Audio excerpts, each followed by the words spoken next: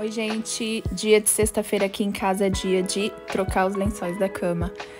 Aí já vem todo mundo pra minha cama, é aquela festa que eu adoro. Já comecei a limpar meu colchão, tava um pouquinho sujo. Já coloquei os outros lençóis pra lavar. Essa duplinha que eu amo, gente. Super indico pra vocês. Aí eu subi e já comecei a arrumar a cama. Ai, gente, não tem nada melhor, né? Que você colocar um lençol cheirosinho na cama. Ai, que tudo. Aí eu escolhi essa cor branquinha, que eu amo tudo cleanzinho assim, amo. Aí já fui ajeitando os travesseiros, gosto de dar essa ajustadinha embaixo, que fica bem arrumadinho na cama. É, esse ursinho, gente, eu ganhei do meu digníssimo na época de namoro. E é isso, gente, coloquei essa almofadinha branquinha, cleanzinho. E o meu pet tomando um solzinho na cama da mamãe. E é isso, gente. Um beijo, me siga no Instagram.